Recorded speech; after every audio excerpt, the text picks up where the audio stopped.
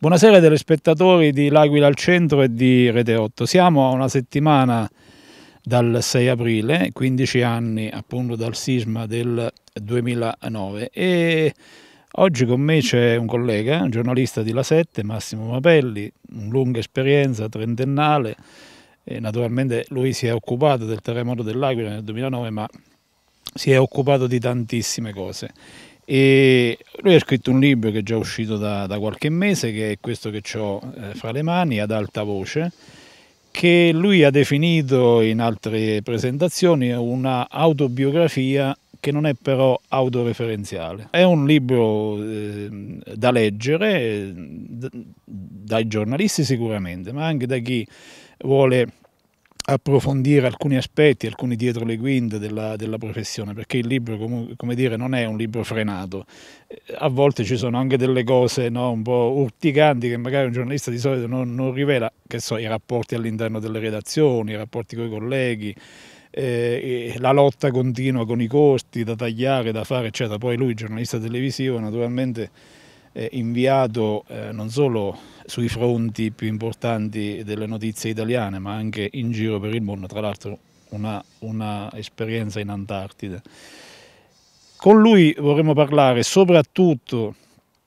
del, dei giorni successivi al 6 aprile del 2009, lui fu inviato appunto dalla, dalla 7, in questo libro c'è un ampio capitolo dedicato, eh, dedicato a, a, quei giorni e proprio per questo adesso per iniziare vi facciamo vedere qualche minuto di un servizio che Massimo Pavelli eh, girò qui, proprio qui a Onna il giorno successivo, quindi siamo proprio nelle primissime ore eh, in cui la tragedia naturalmente era ancora davanti agli occhi di tutti.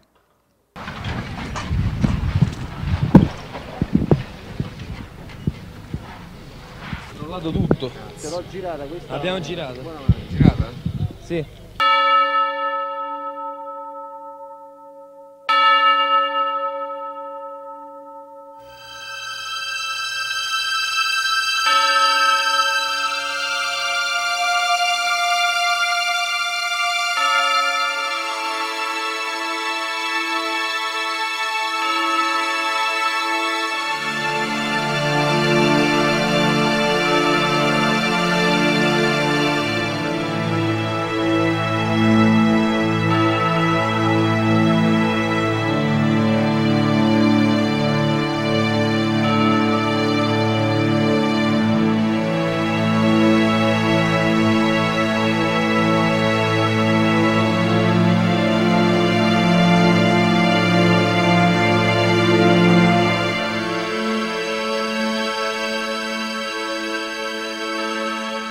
Perso amici, parenti? Di tutto, di tutto. Dalla casa, amici, parenti e tutto.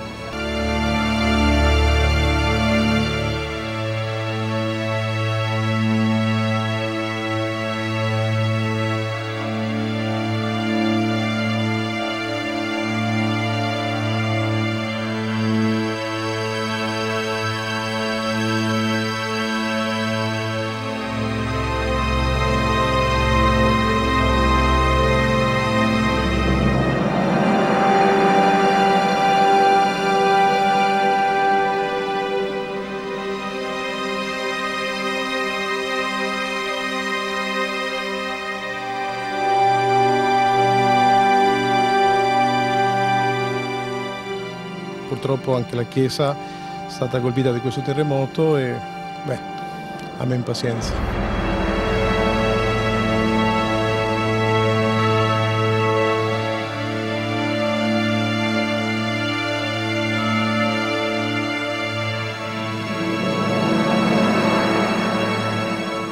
Sono morti tanti bambini. Sì, purtroppo sì. Sono angeli che ecco, dal cielo sicuramente intercederanno per noi.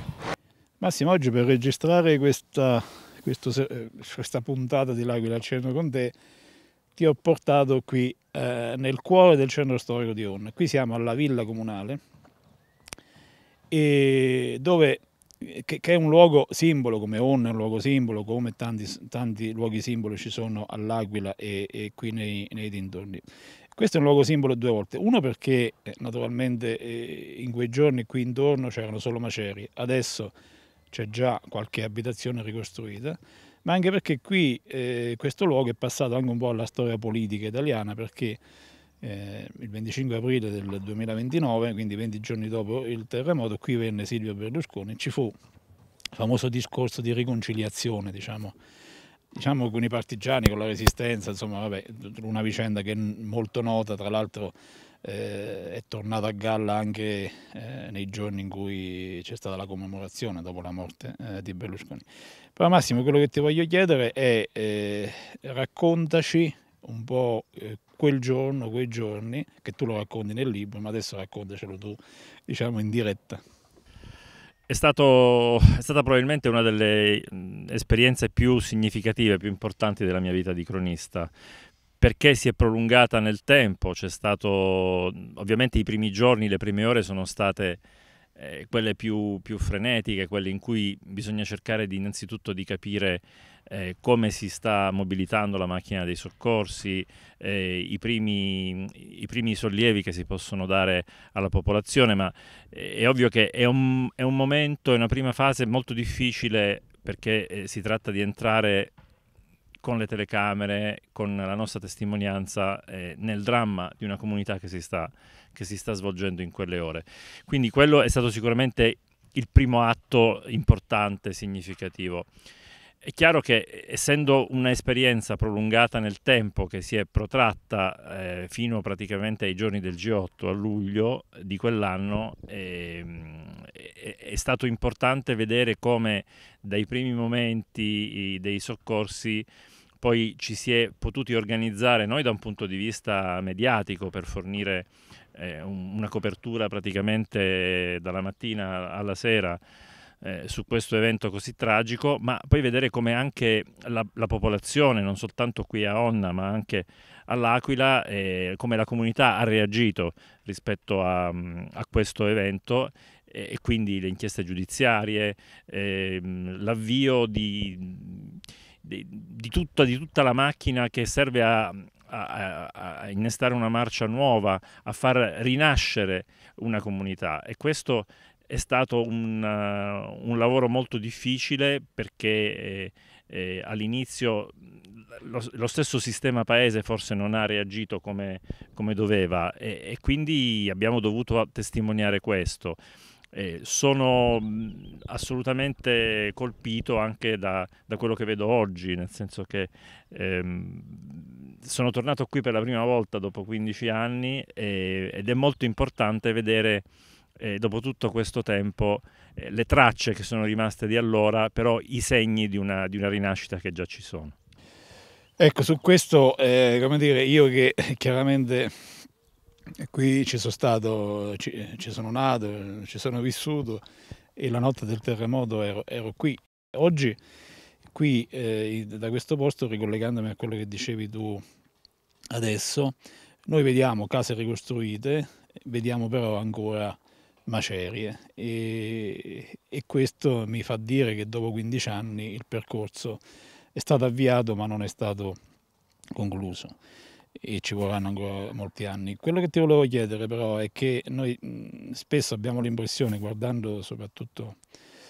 i servizi giornalistici eh, in riferimento a, a, tragedie e io ne ho avuto una netta sensazione anche per essere stato dall'altra parte della barricata che spesso e come dire si fa spettacolo, cioè in realtà una tragedia per una tv, per un media qualsiasi, più che altro diventa spettacolo, poi quando lo spettacolo è finito non ci sono più storie da raccontare, pianti da far vedere, tutto scende e cala. La domanda è sull'impatto emotivo che eh, giornalista sensibile come te, perché poi leggendo il libro insomma ci sono tante, tante situazioni che lo attestano, quindi qual è l'emozione e anche la difficoltà poi umana, perché siamo, poi alla fine siamo uomini, eh, nell'affrontare una tragedia del genere, in cui si parla in quei momenti soprattutto, soprattutto di morte. Allora, in, nei primi momenti in cui si capisce che incomincia una trasferta che durerà tantissime settimane, che durerà dei mesi, ci si sente impreparati, non importa quanta esperienza uno possa avere eh, acquisito sul campo, eh, quante situazioni, quante persone abbia incontrato in situazioni, in momenti difficili. Ci si sente sempre inadeguati, ci si sente inadeguati perché eh, è imprevedibile quello che si, che si trova e bisogna rispettare naturalmente eh, il dolore di una comunità, eh, è difficile, è un equilibrio piuttosto complicato eh, mantenere il massimo livello informativo in, nel momento in cui c'è la massima pressione nel dover eh, produrre eh, informazione pra- praticamente in tempo reale quando si tratta di coprire eventi di questo genere e rispettare ovviamente la, la privacy delle persone che hanno perso la casa, hanno perso i parenti, hanno perso tutto. E diciamo che è qualcosa che si, si, si, acquisisce, non ci sono dei grandi manuali che lo insegnano. Eh, riguarda un po' la sensibilità, la cultura individuale e certo anche un po' il fatto di essersi trovati anche in altre circostanze, in, in, in situazioni del genere. Però l'emozione, l'emozione fu tantissima, anche perché eh, il primo posto, appunto, prima ancora di andare all'Aquila, dove, dove sono rimasto per alcuni giorni, è stato qui a Donna e, e la percentuale di, di, di, vittime tra la popolazione rispetto eh, a, quella, a, quella, generale era una percentuale veramente molto alta. E, sì, una cosa veramente impossibile da dimenticare. Che tipo di, diciamo, tornando un attimo a 15 anni fa, che tipo di idea ti sei fatta c'è ancora, eh, rispetto ai soccorsi, cioè rispetto all'intervento di una protezione civile che ricordiamo all'epoca era non solo potentissima, ma aveva fondi a disposizione, quindi come dire che oggi non è, se, se ho capito bene, non è proprio così. Quindi che, che ricordi hai di questo? Beh, era un momento politicamente in cui lo stesso Premier Berlusconi aveva creato una struttura che eh, era sì, come dicevi tu, molto importante sia sul, sul, sui mezzi che aveva su, per quanto riguarda l'intervento in caso di calamità, ma anche per altro. Non dimentichiamo che poi il G8 che doveva essere, poi, sì, do, doveva essere fatto alla Maddalena fu spostato all'Aquila e quello è un capitolo a parte che dimostra però come la protezione civile fosse effettivamente eh, oltre, oltre il, il, livello stesso del, del creare eh, i presupposti per un intervento di soccorso alla popolazione. È chiaro che ci furono delle polemiche, eh, anche allora eh, i, i, soccorsi nelle prime ore ci furono, magari non erano eh, perfettamente coordinati, perfettamente organizzati eh, anche nelle, nelle, piccole frazioni come Onna, come Paganica, fu questione di ore credo. Eh, però eh, il, il, vero problema era tutta la discussione che ci fu allora come anche in passato in, in, altri, in altre circostanze del genere, il terremoto eh, in Umbria alla fine degli anni 90, eh, sulla possibilità di prevenire o meno gli eventi sismici, eventi tragici come quello, perché poi il vero nodo è quello. Eh, una, discussione, una, discussione, su questo eh, c'era stata, ci fu, eh, ci fu anche uno, uno sviluppo giudiziario eh, epocale probabilmente, un processo alla scienza, il processo alla Commissione Grandi Rischi che è stato fatto successivamente e, è, un tema, è un tema molto importante. Credo che la protezione civile che è intervenuta a Onna e all'Aquila e, e ovunque quando c'è stato il sisma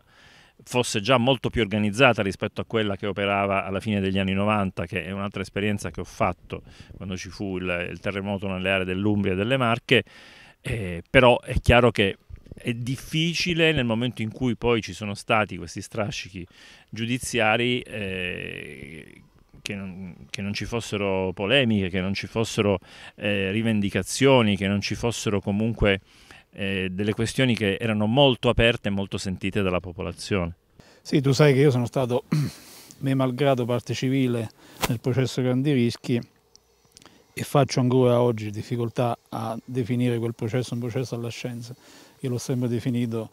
eh, un processo alla non scienza, nel senso un processo a, a, alcune lacune che comunque in quella situazione. Poi dal punto di vista penale sappiamo come è andato a finire, quindi chiudo chiudo qui il capitolo. Un'altra cosa che, che mi ha colpito eh, leggendo il tuo libro, proprio il capitolo dedicato all'Aquila, è quando tu dici a un certo punto parli dello spostamento del G8 dalla Maddalena all'Aquila, l'ha già accennato, e dice che il Presidente del Consiglio con questa mossa pensò anche di disinnescare in partenza le possibili proteste dei no global che sappiamo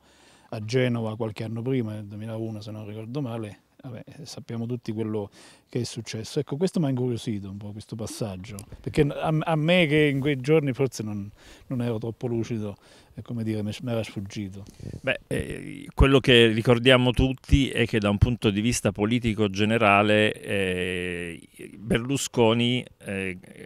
pose Onna al centro diciamo, dell'attenzione internazionale con questa mossa di spostare il, il vertice del G8 che si sarebbe svolto a luglio da, dalla Maddalena dove c'erano peraltro tutta una serie di lavori già avviati eh, all'Aquila. Fu una mossa politica eh, che spiazzò abbastanza perché fu abbastanza eh, improvvisa al momento, non c'erano stati dei grandi segnali eh, premonitori. E, e questa operazione ovviamente ha fatto sì che mentre eh, il, il lavoro immediato dei soccorritori andava avanti, eh, si era creata questa sorta di sovrastruttura eh, politica. Giustamente abbiamo ricordato che il luogo dove ci, dove ci, troviamo è quello dove Berlusconi ha probabilmente eh, fatto il suo discorso politico più alto il 25 aprile sì, tutti, eh, di quell'anno perché riuscì a unire i grandi valori del risorgimento con quelli ehm, con quelli della lotta partigiana per la prima volta un, un premier del suo orientamento politico partecipava anche lui personalmente a, a, alle celebrazioni del 25 aprile e, e obiettivamente fu un discorso di, di alto profilo e, di alto profilo politico e istituzionale eh, che toccava anche le corde di chi eh, qui invece era alle prese con un, un dramma che ancora si svolgeva chiudo, chiudo, vorrei chiudere questa parte diciamo, su, sul terremoto del 2009 su Onna. E tu già, hai, già qualcosa hai detto, tu sei tornato qui, da quello che ho capito qualche giretto già te lo sei fatto per venire qui. Quindi ecco che non da giornalista, da persona che comunque in quei giorni c'era stato e adesso ci torna. Che, che idea ti sei fatto? Ma l'idea che una, una, parte del lavoro è stata fatta, che un'altra parte resta da fare, però vedere che, che accanto ancora alle tracce evidenti di quello che, che, è stato allora, di questa forza terribile che la natura ha manifestato eh, sulle, sulle, costruzioni, sulle abitazioni eh, di qui, eh, comunque certo a distanza di 15 anni eh, si vede che, che c'è un progetto, che c'è comunque eh, una, una, una rinascita. È ovvio che io immagino che per chi ha vissuto sempre qui tutto quello che succede è troppo lento rispetto a quello che eh, forse doveva, doveva, accadere. Però visto dall'esterno eh, è confortante eh, vedere come eh, il territorio sta cercando di riorganizzarsi rispetto a una, a una tragedia così grande.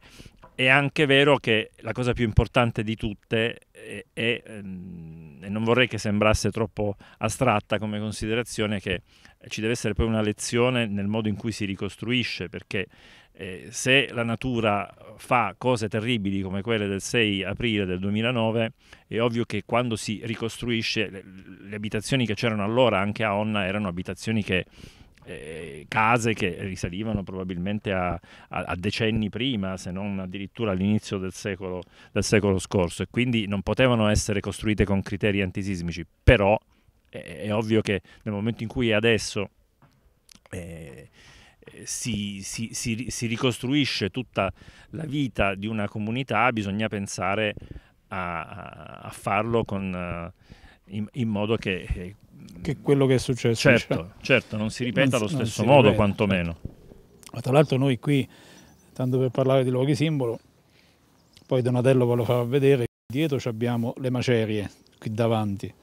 e di qua sentite forse anche qualche rumore, c'è in corso una che tra l'altro lo dico un po' in conflitto di interesse, è proprio il cantiere di casa mia che dopo 15 anni è finalmente è, è iniziato. Massimo, però adesso cambiamo eh, argomento, il tuo libro è pieno di, di, di, pieno di spunti, però mh, io ho visto già qualche altra intervista che tu hai fatto, una delle cose che ha colpito tutti è che, come dire, allora, un giornalista di provincia come me parte, eh, si presenta un giornale, chiede di collaborare, poi pian piano, pian piano qualcosa succede se le cose vanno bene. Il tuo percorso da giornalista è stato Mm, vorrei dire accidentato, però eh, forse anche esaltante per certi versi. Tu cominci come eh, storico della musica, appassionato di musica e tra l'altro le tue prime eh, vere grosse esperienze sono a Rai Stereonotte, che è un programma che io che tornavo molto tardi ogni tanto ascoltavo. Un ecco, mitico programma. Un mitico programma che adesso credo non ci sia più, anche se qualcosa di simile c'è ancora.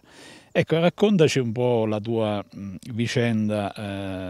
eh, giornalistica, co- come, come, nasce, la tua passione e, e, come poi arrivi fino ad oggi. Diciamo. Beh, la radio è stato il primo amore sicuramente mi ha consentito di, di, di capire come... Mh,